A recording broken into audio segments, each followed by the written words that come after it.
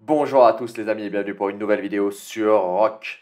Les amis, aujourd'hui du lourd de la méga baleine, beaucoup trop riche pour nous les amis. Et surtout des explications sur nos amis les Coréens et on va parler du KVK également. Mais avant cela les amis, comme d'habitude, si ce n'est pas encore fait, bien évidemment je vous invite à vous abonner à la chaîne en cliquant sur la cloche pour être informé de toutes nouvelles vidéos. Et surtout les amis, n'hésitez pas à nous rejoindre sur le Discord de la chaîne ça fait toujours plaisir. Vous m'avez demandé beaucoup de screens en partage sur le Discord dans la section dédiée. Eh bien, je les ai tous mis et également on a créé plusieurs nouvelles sections pour les jumps, pour les joueurs qui cherchent des royaumes, en plus des alliances et des royaumes qui recrutent. Les amis, on va regarder tout de suite les events puisque on voit c'est la fin des events cadeaux de limiter chaque mois et surtout des lots de valeurs spécifiques qui ont disparu. On a récupéré la marque des champions, ce qui veut dire que les paris vont bientôt commencer. Attention, la marque des champions, ça a une durée limitée surtout une utilité limitée. On le voit, ça dure que le temps va durer encore la fin de la saison Osiris, 46 jours, 17 heures 10 minutes et 24 secondes. Donc on sait qu'on va finir à présent dans un petit peu plus d'un mois et demi la saison 5 d'Osiris. Est-ce que c'est un pack intéressant?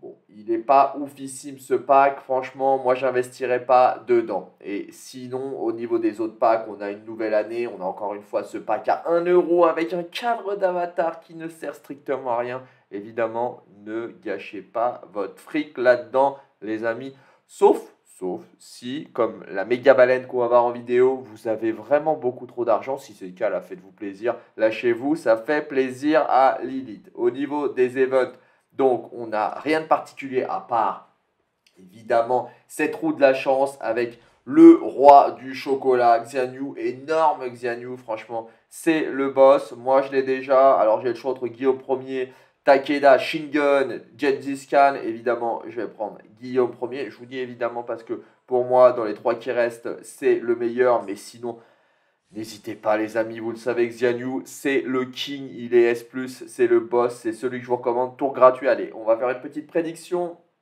Tour gratuit, tour gratuit. Moi, je dis que je vais avoir une étoile. On fait le tour gratuit, le tour à 50.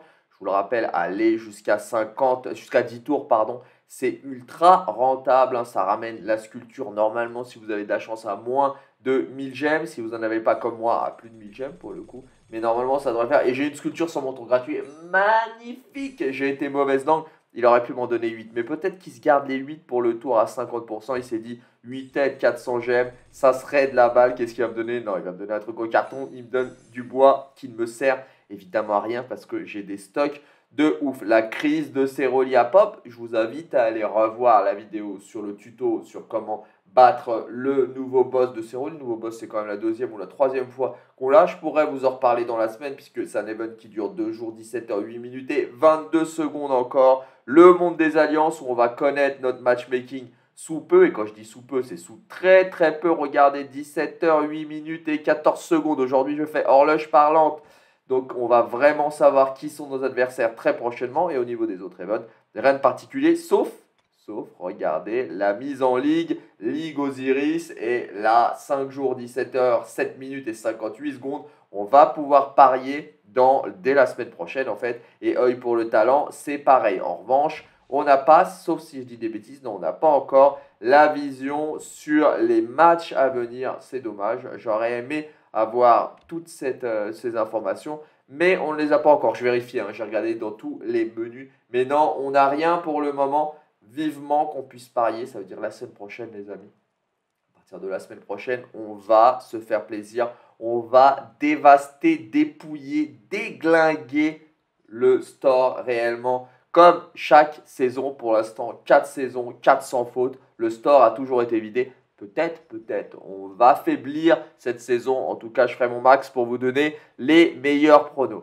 Les amis, passons à présent à cette baleine qui a franchement beaucoup trop d'argent. D'ailleurs, si elle s'ennuie, elle peut venir me faire un don. Ça me fera très plaisir. Hein. Participer à l'association et don Patato à devenir une méga baleine également. Regardez comment claquer 4 millions de gemmes en quelques secondes, voire quelques minutes. Regardez, c'est elle crée des troupes. Alors je dis elle parce qu'il me semble, si je dis pas de bêtises, que ce joueur-là, c'est Mimi et c'est euh, une femme. Hein. C'est Mimi, elle claque énormément. C'est une méga baleine très connue dans le jeu. Elle a des stocks de ouf. Elle était à 5 millions de gemmes, 4 millions 900 et quelques en haut à droite. Et elle fait des troupes à la chaîne. Donc elle a fait des cavaliers à la chaîne. Maintenant, elle fait des archers à la chaîne. C'est assez impressionnant. 4 millions de gemmes, les amis. Si on prend le cours de la gemme, hein, si je dis pas de bêtises, hein, c'est 100 euros pour nous, simples européens, 100 euros pour les 25 000 gemmes. C'est hors de prix si vous achetez le pack hein, directement, bien évidemment. Donc 100 euros les 25 000 gemmes, elle va en claquer près de 4 millions. C'est assez énorme. Ça fait 160 packs, ce qui veut dire que là, elle a claqué détente, hein, vraiment, elle a claqué détente 16 000 euros. Autant dire, elle est vraiment au calme. 16 000 euros, ça doit être pratiquement 20 000 dollars. C'est oufissime. La meuf claque 16 000 euros.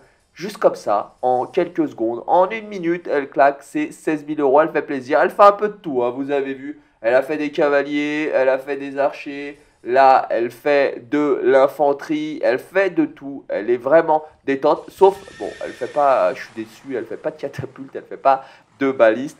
Mais c'est toujours assez. Vous voyez, elle en a 17 millions là, par exemple, de cavaliers. Bon, là, on est sur de la méga baleine. Elle voulait certainement dépasser les 600 millions de puissance. Quand vous avez ce genre de joueur sur votre royaume, ça doit être clairement la teuf de ouf du coffre en or. Je crois que c'est une joueur coréenne et on va venir d'ailleurs en parlant de coffre en or sur les méga baleines et nos, et nos amis coréens. Puisque elle a fini là, c'est bon, elle est contente, elle a fait ses 16 000 euros de dépenses. On va passer à présent à nos amis coréens, comme je l'ai dit, et à cette bizarrerie qu'on a constaté. On a accueilli sur notre serveur une délégation coréenne hein, qu'on a intégrée dans plusieurs teams on commence à se renforcer pour être en follow the sun, pour être H24 avec beaucoup de monde connecté. Et regardez cette bizarrerie, puisqu'on a, enfin cette étrangeté plutôt, on a un joueur qui, sur ses deux comptes, il a deux comptes dans l'alliance principale, parce que c'est une méga baleine, un coréen. Et regardez, dans les coffres en or, on a coffre en or, machine de guerre, Coffre en or, c'est le même, hein, c'est Kong. Hein, oui, donc pour ceux qui, qui, ne savent pas qui est cette méga balette qu'on a accueillie, c'est Kong. On a donc machine de guerre, machine de guerre, machine de guerre. Vous voyez déjà 4 coffres en or, machine de guerre. Ce qui est étrange, puisque si je dis pas de bêtises, on peut en acheter que 3 par jour. Donc on va se dire c'est un bug, mais regardez, je vous montre un second screen, ça continue machine de guerre, coffre en or. C'est le même moment, hein, c'est la même journée. Hein. Il n'y a pas plusieurs jours là, c'est le même jour, tout est pareil. D'ailleurs, c'est Kevin qui m'a fourni les screens. Merci à toi, Kevin. Coffre en or, coffre en or, coffre en or. On est à 9 coffres en or, machine, non, 8 coffres en or, machine de guerre, le même jour. C'est bizarre, non? Moi, encore une fois, quand j'en achète des coffres en or, je peux acheter que 3 coffres en or de la du même bundle. Et c'est pas tout, hein, parce qu'il n'en a pas acheté que neuf. Regardez, ça continue. Machine de guerre, machine de guerre, machine de guerre. Un total de 11 coffres en or, machine de guerre. C'est vraiment très bizarre. Et donc, pour le coup, on a enquêté là-dessus. Pour ceux qui ne le savent pas, Petite info, moi-même, je ne le savais pas, j'avais déjà vu ces packs, je savais ce que c'était, mais je ne savais pas que c'était lié à cette spécificité-là. Alors, d'après les infos, hein, encore une fois, normalement, regardez ce screen d'inventaire on a en fait une spécificité au niveau des serveurs coréens, euh, puisque la loi en Corée, apparemment c'est la loi, vous savez, la Corée c'est un gros pays de gamers, hein, et donc ils ont la possibilité d'acheter autant de packs qu'ils le souhaitent, de, de bundles en or. Donc chez eux, ce n'est pas limité à trois coffres en or comme nous. Donc si vous êtes coréen et que vous êtes une méga baleine, vous pouvez acheter autant de coffres que vous voulez. Ça va vous les stocker sous forme de sac, hein, comme, euh, comme vous l'avez euh, là sur l'écran, sous forme de sac, les bundles, et vous pouvez les utiliser quand bon vous semble. Donc vous faites un petit stock en claquant votre thune, Et quand vous avez envie de les ouvrir, vous les ouvrez et vous êtes détente. Assez ouf. Donc c'est comme ça que Lilith a résolu ce problème-là pour euh, être conforme à la loi apparemment coréenne. Et donc euh, les mecs, tous les Coréens peuvent acheter autant de coffres en or qu'ils le souhaitent. Enfin, autant qu'ils en ont les moyens, bien évidemment, parce qu'il faut lâcher à chaque fois 100 balles pour le coffre en or. Enfin, 100 balles plus, faut l'atteindre. Hein. Et pour l'atteindre, faut déjà avoir lâché, si je dis pas de bêtises, 250 euros déjà avant pour nous, euh, les Européens. Voilà pour cette explication, cette petite démonstration des baleines. Un, la baleine qui claque 16 000 euros en une minute. Et deux, le fait de claquer 11 coffres en or comme ça, machine de guerre, comme si on était surblindé tranquillement. Vraiment, la vie doit être difficile sur Rock pour eux. Les mecs peuvent enchaîner les KVK. En parlant de KVK, donc on va se rendre sur de nouveaux KVK, les amis, et continuer de suivre les ouvertures. On a eu, durant les dernières 12 heures, l'ouverture des terres du roi sur le 1860. Alors, on m'a corrigé, j'ai reçu plein de messages. Hein. donc, si je dis pas de bêtises là à présent, corrigez-moi encore s'il le faut, les amis. Si je dis pas de bêtises, c'est le rouge, le feu, le 1860 qui est allié avec, si je ne dis pas de bêtises, juste en dessous, les éclairs, le 19-12 et le 757, et qui est allié aussi au 12-28. Donc, quatre royaumes ensemble qui sont face à huit royaumes. Donc, tous les autres, donc la ligne de gauche, rouge, violet et cette sorte de gris à gauche, sont en, allié, en alliance, sont en, allié, sont en alliance face à tous les autres. On est à 34 jours, 7 heures et 6 minutes très précisément. Donc, enfin, 6 minutes, n'importe quoi. 34 jours, 7 heures, 0 secondes et 0 minutes et 14 secondes. Je vais y arriver. Hein. Très précisément, il n'y a plus que deux royaumes impériaux, le 1860 et le 1497, qui s'affrontent hein, en diagonale et qui sont bien ennemis. Et on va voir ce qui se passe en Terre du Roi. Vous allez voir, c'est assez surprenant. Je vous l'avais montré ce KVK, je m'attendais, regardons les deux coalitions, je m'attendais, je vous disais, on allait avoir un méga choc en Terre du Roi, puisque c'est là qu'ils allaient vraiment s'affronter. On a une coalition d'un côté qui est à 26, 37, 37, 47 milliards, une bonne grosse coalition. Face à eux, la coalition la plus grosse, c'est celle du deuxième Imperium hop là, coalition qui est à 7, 20, 31, 35 milliards, donc quand même bien en dessous, mais ils sont beaucoup plus nombreux. Et rappelez-vous, on regarde sur les côtés, ça tenait à ce niveau-là, ce n'était pas passé au départ, puis après ils sont passés. Regardons ce que ça a donné en Terre du Roi. Très simplement, alors si j'arrive à m'empérer, regardez donc le 1860 et leurs alliés. Eh bien, tout simplement, ont dévasté les terres du roi. C'est très simple. Hein. Tout est à eux sur cette zone. Vous le voyez, il n'y a rien qui brûle. C'est simple.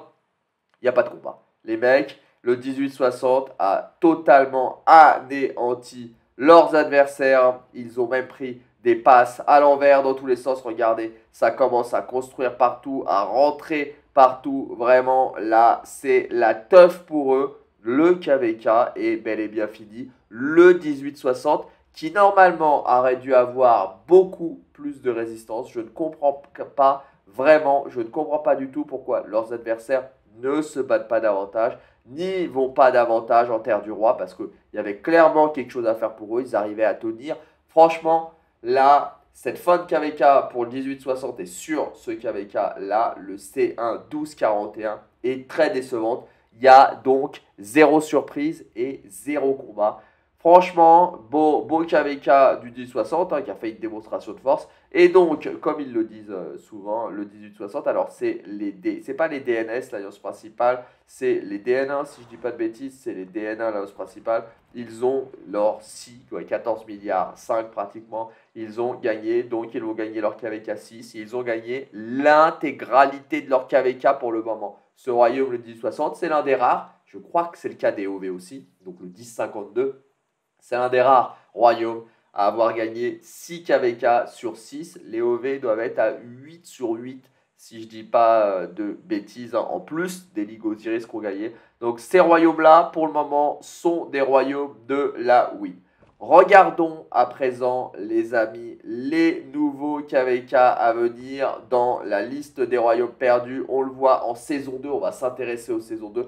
On a plusieurs nouveaux KVK, hein, vous le voyez, ils viennent d'ouvrir. Ils sont euh, à 3 jours pour la plupart d'entre eux. Et on en a un, vous voyez, qui se démarque. Je vous les ouvre tous. Il y a ceux-là qui sont finis. On en a un qui se démarque. Donc, on a le S2 1041 qu'on a longtemps suivi. On va y jeter un œil rapidement. Il a 31 jours, 7 heures à présent. Donc, il est sur la fin. Et on va retourner sur les nouveaux S2 juste après. Les S2, c'est quand même des KVK très intéressants. Hein. On le voit au niveau du Terre du Roi. C'est fini. Hein. Ils sont partagés très bien le territoire là entre les quatre, je dirais, les quatre gagnants de la zone 1. Donc évidemment, c'est l'alliance sur le côté avec le rouge qui a gagné sur ce KVK là avec son allié le bleu. Ils étaient clairement en domination, je vous l'avais dit. Hein. Ils risquaient de gagner ce KVK sans surprise. Hein. Mais au, niveau des nouveaux KVK, donc il faudra suivre hein, en saison 3 ces royaumes-là. Pour moi, ils sont prometteurs. pour y retourne. Les royaumes principalement, on a dans les royaumes prometteurs le 23-38 qui va être très intéressant à suivre mais pas que. Le royaume en deux aussi, le 23-41, va être aussi intéressant à suivre. Ces deux royaumes-là, à mon avis, ont un très gros potentiel. Et donc, dans les KVK qui viennent d'ouvrir, on le voit, il y en a un qui se démarque puisqu'il a trois impériums. C'est simple, les 5 autres finissent leur KVK. Trois impériums, ça veut dire impérium de saison 2. Ils font partie des 8 royaumes les plus puissants actuellement en saison 2. Donc, il faut savoir que lorsque ce KVK-là va se finir, dans donc, euh, deux semaines, peut-être qu'à ce niveau-là, il y aura plus d'Imperium car les autres sortiront de la saison 2, eux, seront peut-être reclassés en Royaume Imperium de saison 2. Les gros royaumes à suivre sur ce KVK là, puisque on a saison 2, le matchmaking a eu lieu, sont bien évidemment le numéro 1, le 23-75, aussi le numéro 3, le 23-69 et le numéro 5, le 23-67 qui sont trois gros royaumes, les trois seuls impériums. Je pense que dès que les autres vont sortir de KVK saison 2, et évidemment le royaume en 7, le 23-61, va aussi devenir impérium.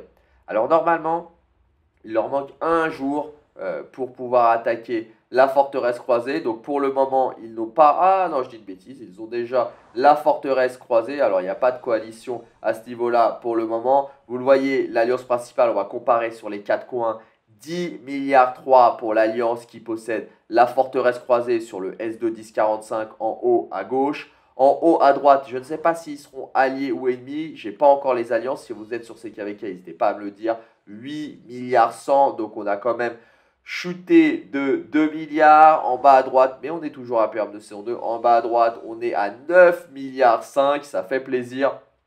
On a un bon équilibre.